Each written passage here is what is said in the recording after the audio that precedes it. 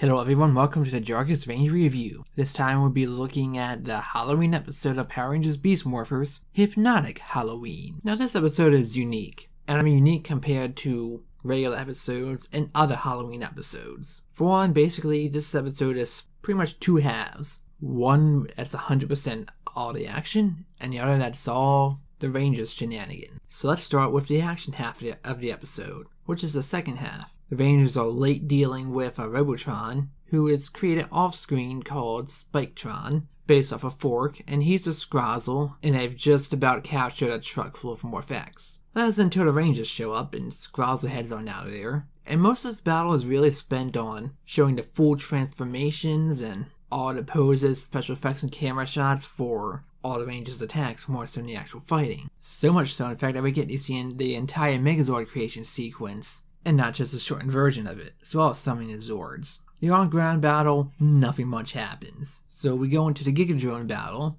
which first Devon and Zoey attack it. It seems like they're doing damage, but instead, it splits off into a second one because it's a Delta model again. So they take damage from having to fight two of them. Luckily, Robbie shows up in the Wrecker Zord. Yes, I remember the name this time. To lend a hand, and they quickly form the Beast X Megazord even that's not enough because it gets broken apart pretty quickly from attacks, both because it's powerful and also because two thirds of it have been damaged shortly before the Megazord formation. Now on the ground, Nate and Steel are able to quickly finish it with the Striker Beast Slash, pretty much using the sabers and the Striker blasters to really blow them up. And now we get to see these Zords act as vehicles. Mainly Nate's as the Wrecker Zord, because it's basically a giant crane.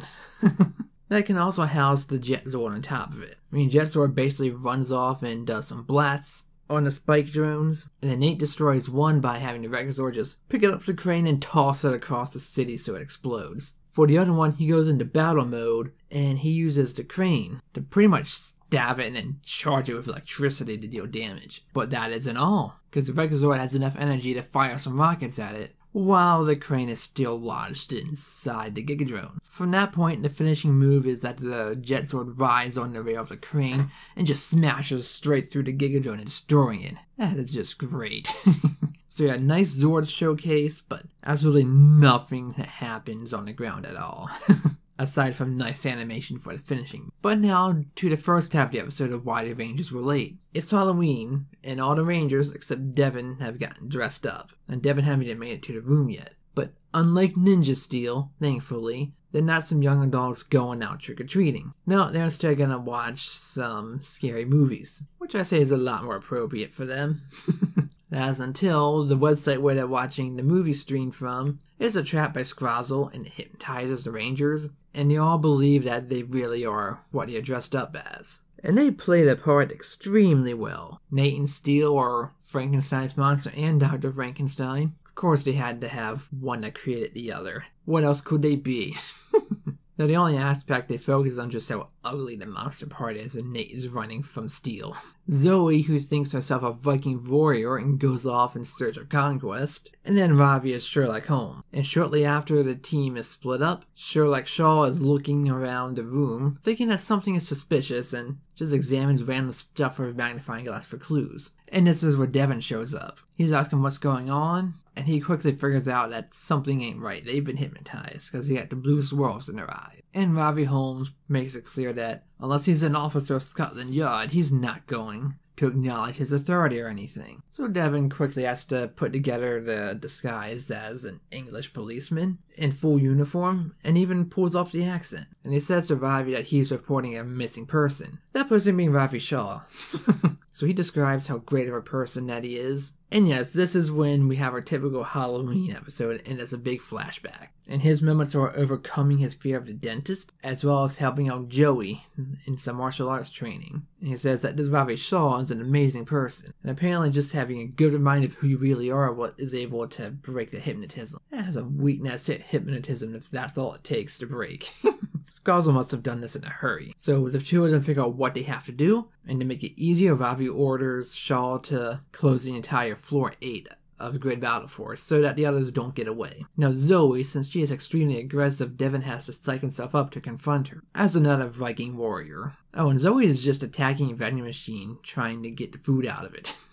and when she sees Ravi, she thinks he's an imposter and just trying to steal from her. So she tosses his axe at him, and even has this glowing edge, sparkling like it's sharp. But no, it's just rubber, and it really made that dramatic because they cut to the intro when it's flying at Devon. So he uses his Amorpha to shoot some at her and just capture her. And he sits her down and tells her about one of the greatest warriors he's ever met. That being Zoey, always jumping into big problems because she's always the first to help people, the first one to jump in when there's an issue to take care of and always quick to apologize. And her scenes is her helping out at the start of the series when she helped the attack the grid battle force and Evox showed up, as well as when she had a little dispute with Jazz over her missing tablet. And that's enough to help her. And Devon remarks that he's enjoyed getting into the role more than he expected to. On the other hand, Nate and Steel are captured in the same manner, being tied up. And this time, all three of them confront them dressed as doctors, saying that they can help. But the way they talk to them, it's more like they're doing therapy than,